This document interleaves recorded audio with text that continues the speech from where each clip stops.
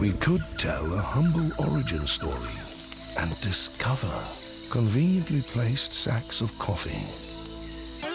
We could show a selection of models holding cups up to their faces. We could use slow, no, slower shots of Arabica beans. We could see a trendy artisan taking coffee way too seriously.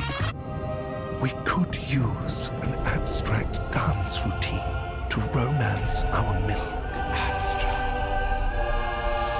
We could create an epic blockbuster and crowbar our product into it. We could do all that. But we don't. What we do is use freshly ground Arabica beans and organic milk. McCafe. Great tasting coffee. Simple.